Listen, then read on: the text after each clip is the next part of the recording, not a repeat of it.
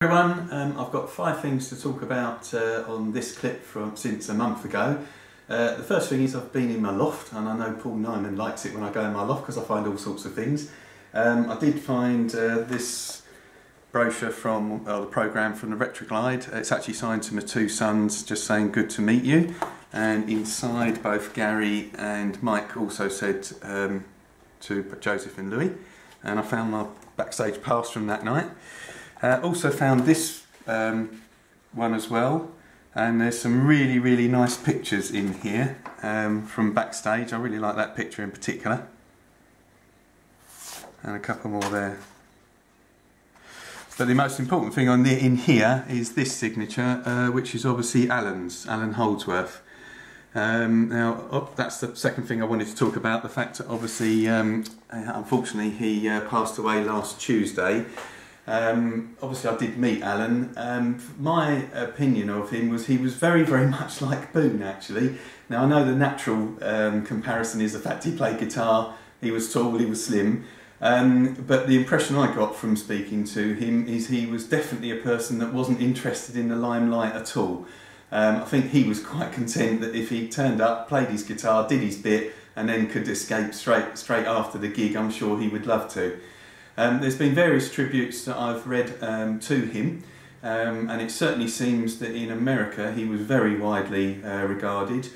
Um, Gary Husband's tribute, um, there's no doubt that the two of them were very, very good friends and obviously had played uh, music together for probably 20 years.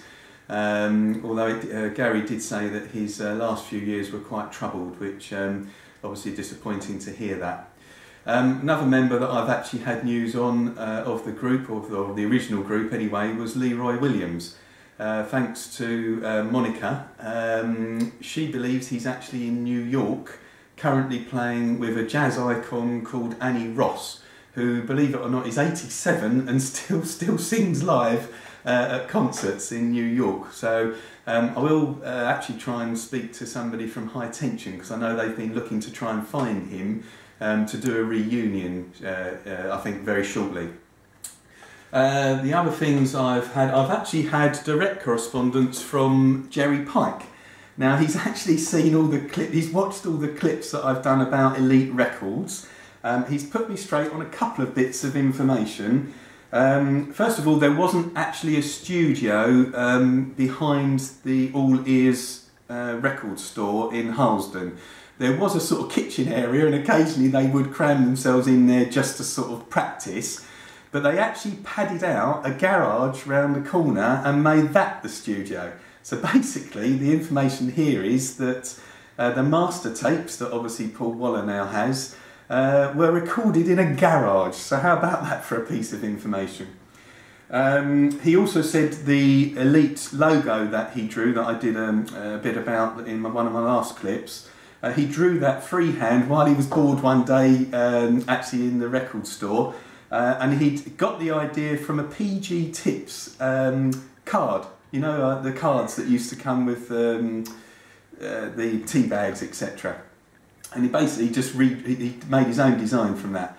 The other thing is the blue and white colours of the uh, album sleeve or the, the um, 12 inch sleeve of Love Meeting Love come from the football club uh, that they used to play, that him and Andy Sojka used to play in together, uh, being blue and yellow, and that was called Stanley Accrington, not Accrington Stanley, Stanley Accrington.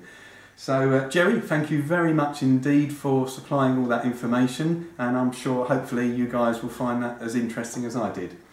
Now lastly, I'm going to mention Lee John of Imagination. Um, he was on my local radio station called Time FM and while he was on I run the DJ that um, was interviewing him called Mark Dover. Uh, he managed to get me a couple of things signed um, which basically when I do my next uh, auction of level 42 stuff I've got some other stuff signed by Shakatak and um, he's left me all of these to auction later on in the year. Um, and this one, he this is his new EP. Now he's about to release a single on June the 9th uh, called Secrets. And you're probably wondering, well, what's all this got to do with level 42? It's actually got quite a bit to do. Because on the album that he's going to release, he does a duet with Mike Lindup, which again, I'm not quite too sure how common knowledge that is, as I said, that actually comes out on June the 9th. Um, and, said, again, I found that quite interesting info that I've managed to gather. That's it for this clip. Uh, thanks for watching, and bye bye, everybody. Bye bye.